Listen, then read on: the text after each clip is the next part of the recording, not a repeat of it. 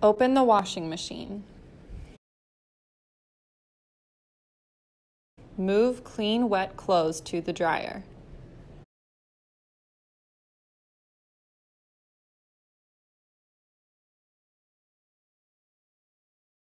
Add a dryer sheet.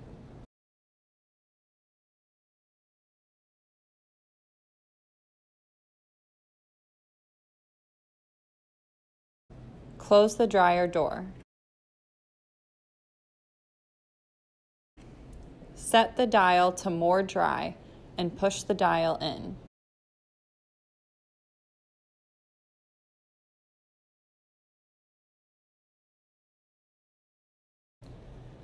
Put dirty clothes in the washing machine.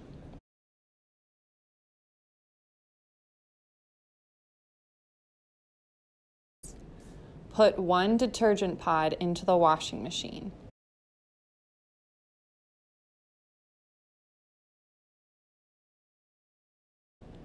Close the washing machine door. Set the dial to start and pull out.